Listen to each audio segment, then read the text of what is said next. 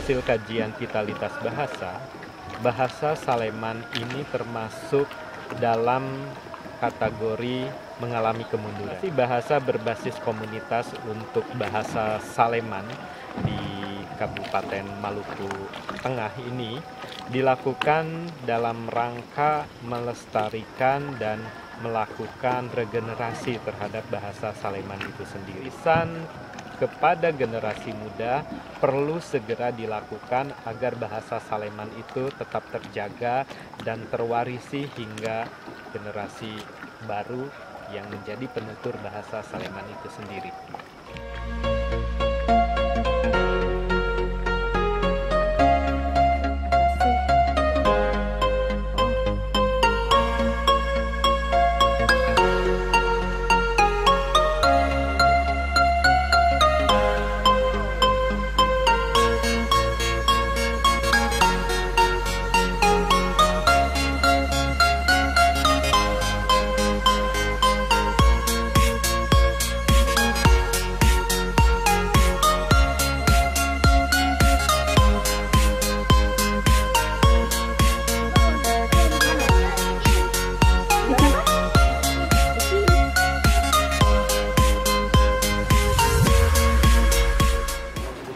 Kami dari Badan Pengembangan Bahasa dan Perbukuan Kementerian Pendidikan dan Kebudayaan eh, memiliki satu kegiatan dalam rangka pelindungan bahasa daerah eh, yang dilaksanakan di beberapa wilayah di Indonesia. Salah satu kegiatan yang dilaksanakan adalah revitalisasi bahasa daerah yang ditengarai akan punah. Salah satu kegiatan pula yang uh, berada di bawah kerangka pelindungan bahasa itu adalah kegiatan revitalisasi bahasa daerah di Maluku Tengah ini yaitu di Desa Saleman.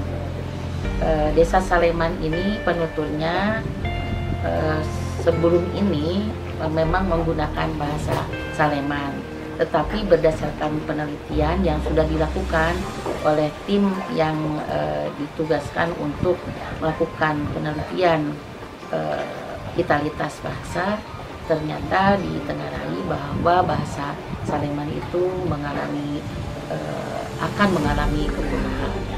Oleh karena itu kami menganggap perlu bahwa e, bahasa Saleman dan e, penggunaannya harus di revitalisasi sehingga bahasa bahasa Saleman menjadi kita kembali dan tetap bisa digunakan oleh penuturnya.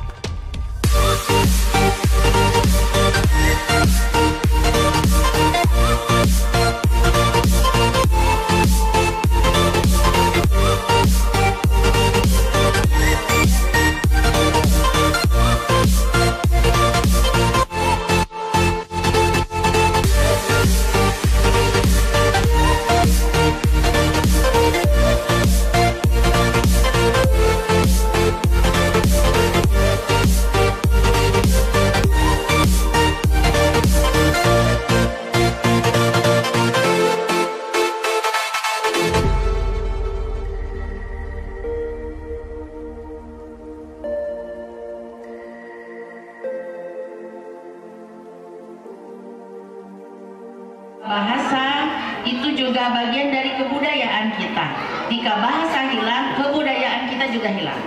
Oleh karena itu saya mewakili pimpinan dari Badan Bahasa, dari kantor bahasa mengharapkan uh, penerimaan apresiasi yang sangat positif dari masyarakat negeri Saleman, terutama para pengambil keputusan, para pemangku kepentingan, apakah itu kepentingan di pemerintahan ataukah itu kepentingan di masyarakat adat, untuk bersama-sama uh, bahu membahu bagaimana menjadikan bahasa Saleman ini vital kembali.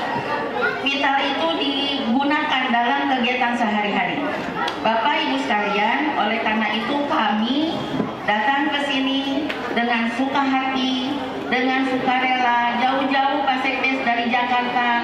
naik kapal dulu berapa jam, lalu naik darat lagi berapa jam, jauh sekali, apalagi dari saya dari Jawa Barat. Nah, oleh karena itu kami yang datang dari jauh saja memberi perhatian kepada masyarakat di sini selayaknya Bapak Ibu, Bapak Guru, orang tua, masyarakat adat, tokoh adat, tokoh agama harus merasa penting kehadiran acara ini untuk kita besarkan bersama-sama.